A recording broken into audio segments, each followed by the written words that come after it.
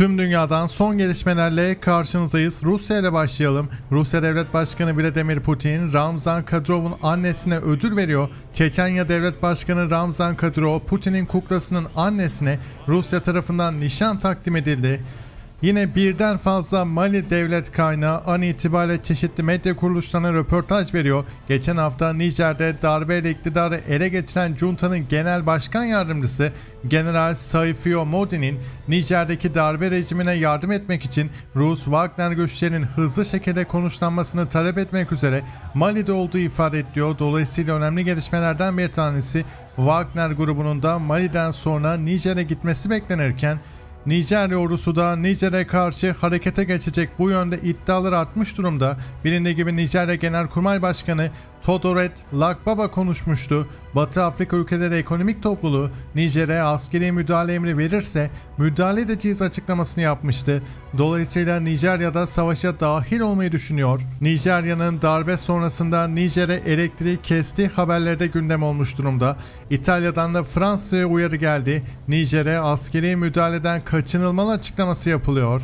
Diğer gelişmelerimizi aktaralım. İsrail Cumhurbaşkanı Herzog, İsrail'in kuzeyinde Lübnan sınırında denetlemelerde bulundu. Provokatif bir ziyaret olarak gerçekleşiyor. Dolayısıyla sınırın diğer tarafında terör örgütü Hizbullah'ın olduğunu da hatırlatalım.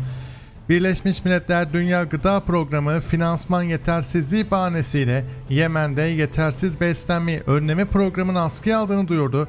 Fakat aynı Birleşmiş Milletler Ukrayna'ya tam gaz yardımlara devam ederken sırf Müslüman diye 2.4 milyon Yemenli çocuğun etkileneceği ifade ediyor.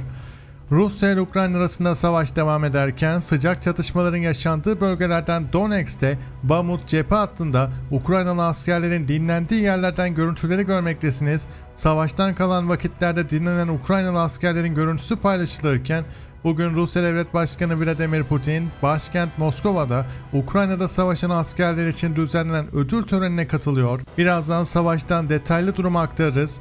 Pakistan'ın Milgen projesinin dördüncü ve son gemisi PNS Tarık, Cumhurbaşkanı Yardımcısı Cevdet Yılmaz, Pakistan Başbakanı Şahbaz Şerif ve yetkililerin katıldığı törenle Karaçi tersanesinde denize indirildi. Pakistan Başbakanı Şahbaz Şerif, ortak işbirliği temeline dayanan Milgen projesiyle Türkiye ile Pakistan arasında stratejik ortaklıkta dönüm noktası olduğunu ifade ediyor. Başbakanlık ofisinden yapılan açıklamaya göre Şerif ile Cumhurbaşkanı Yardımcısı Yılmaz'ın da tersanede denize indirilme törenine katıldığı duyuruldu. Burada konuşan Milli Savunma Bakan Yardımcısı Celal Sami Tüfekçi şunları söylüyor. Bu ay Pakistan'ı Milli Muharip Uçak Programımız Kaan'a resmi olarak dahil etmek için Pakistanlı meslektaşlarımızla görüşeceğiz açıklamasını yapıyor. Kısacası Azerbaycan'dan sonra Pakistan'da projeye ortak oldu diyebiliriz. Tabii ki de karşı çıkacak halleri yok. Böylelikle milli muhalif uçak Türkiye, Azerbaycan ve Pakistan kardeşliğiyle üretilmiş olacak. Terör ülkesine gidiyoruz. İran rejimi aşırı sıcaklar nedeniyle bugünden itibaren 2 günlük tatil ilan etmişti. Tatil ilanının ardından ülkenin orta bölgelerindeki halk kuzeye giderken başkent Tahran gündüz saatlerinde sakinliğiyle dikkat çekiyor. Fransa ile Katar ordusu arasındaki işbirliği devam ederken Fransa savaş uçakları Pegasus görevi kapsamında Katar'da yakıt ikmali yapıyor. Buradan da çok sayıda görüntü paylaşılmış. Cumhurbaşkanlığı İletişim Başkanlığı tarafından şu açıklama yapıldı. Cumhurbaşkanı Erdoğan'ın Rusya Cumhurbaşkanı Putin'le telefonda görüştü. İki liderin Putin'in Türkiye ziyareti konusunda mutabık kaldığı duyuruldu. Sürekli mutabık kalınıyor. Savaşın başından beri sürekli bu tarz haberler paylaşıyoruz. Daha sonrasında bir olay oluyor. Tekrardan ziyaret iptal oluyor. Ukrayna'ya ait HIMARS sisteminin Rusya'ya ait 2S-7 Pion kundağı motorlu topçu obüsüne saldırı düzenlediği ve 203 mm topçu obüsünün vurulduğu duyuruldu. Birleşmiş Milletler Genel Kurulu, kutsal kitaplara yönelik şiddeti uluslararası hukukun ihlali olarak tanıyan karar tasarısını da kabul etti. Polonya ile Ukrayna arasında gerilim artıyor. Polonya Dışişleri Bakan Yardımcısı Pavel Yablonski konuşuyor. Ukrayna ile Polonya arasındaki ilişkiler diplomatik bir skandal nedeniyle kötüleşti ve şu anda en iyisi değil. Bunun nedeni Ukrayna'da bazı duyguların ortaya çıkması. Polonya bunu anlıyor çünkü ülke Rusya'nın saldırısı altında ama Ukrayna'da müttefiklerine saldırmamalı açıklamasını yapıyor. Bilindiği gibi Ukrayna skandal bir şekilde Polonya'yı suçlamıştı. Ne dedi derseniz nankör demişti. Ukrayna Dışişleri Bakanlığı Polonyalı bakana Ukrayna'ya yardım için nankörlük ettiği iddiasıyla küstah demişti ve Polonya Büyükelçiliğine çağrılmıştı. Dolayısıyla gerilim artıyor. Yine Ukrayna Silahlı Kuvvetleri'nin an itibariyle çeşitli teçhizatının Rus ordusu tarafından vurulduğu duyuruldu. Rusya ise Belgorod bölgesinde ÖRS savunma üyelerine saldırı tüfekleri, insansız hava araçları ve çeşitli sistemleri teslim ettiğini duyurdu. Rusya-Ukrayna savaşı devam ederken bir taraftan da Rusya'nın Baltık denizinde Ocean Shield 23 Okyanus Kalkanı 23 tatbikatına başladığı duyuruldu.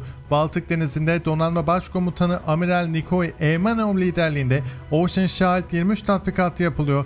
Rusya'dan bu tatbikatta 30'dan fazla savaş gemisi ve bot, 20'den fazla destek gemisi, 30 deniz havacılığı uçağı, Rus Hava ve Uzay Kuvvetleri'ne ait toplamda 6000 askeri personel katılıyor. Tatbikat bağlamında Baltık ülkelerinin şimdiden panik olduğunu da hatırlatalım. Yine savaş bağlamında Rusya Federasyonu Savunma Bakanlığı şu açıklamayı yapıyor. Kiev rejimi bir kez daha Rus donanmasına ait bir gemiye Karadeniz'in güneybatı kısmında saldırmaya çalıştı. Bunu engelledik açıklaması yapılmış. Zaporojye yönünde de düşmanın vurulduğu şeklinde açıklamalar yapılıyor. Gün içerisinde 115'e kadar Ukraynalı askerin sözde Donetsk Halk Cumhuriyeti'nin çeşitli noktalarına vurulduğu ifade edilirken her zaman olduğu gibi tek tek saymayacağız. Rusya Federasyonu tarafından bu şekilde bir açıklama yapılmış. Diğer gelişmeleri aktaralım. Birleşik Arap Emirlikleri Devlet Başkanı Şeyh Muhammed Bin Zayed El Nahyan resmi ziyarette bulunmak üzere Ürdün'ün başkenti Amman'a geldi. Nahyan, Ürdün Kralı 2. Abdullah tarafından resmi törenle karşılanıyor. İkili daha sonrasında baş başa ve heyetler arası görüşme gerçekleştirdi. Yine bir diğer haberimiz Suriye Milli Ordusu'ndan müşterek kuvvetlerin şafak vaktinde ENAP hattında sızma girişiminde bulunan PKK'lı YPG'li teröristleri vurduğu yönde de bölgeden çok sayıda görüntü paylaşılmış. Son günlerde Suriye'de şiddetlenen çatışmalara sahne oluyoruz. Her ne kadar Nijerya, Nijer'e müdahaleyle tehdit etse de kendi ülkesinde de iç sorunlarla karşı karşıya Nijerya'nın Lagos kentinden görüntüleri görmektesiniz. Lagos kentine toplanan yüzlerce kişinin devlet başkanı Bola Ahmet Tinubu'nun petrol ürünlerine uygulanan sübvansiyonu kaldıracağı açıklamasının ardından ülkede akaryakıt fiyatlarının artmasını ve hayat pahalılığını protesto ediyor. Göstericiler hükümet karşıtı sloganlar atarken Petrol zengini Nijerya'da bile bu tarz olaylara tanıklık ediyoruz. Nijerya, Nijer'e askeri müdahaleyle tehditte bulunurken kendisinin halkıyla baş edemediğini de görmekteyiz.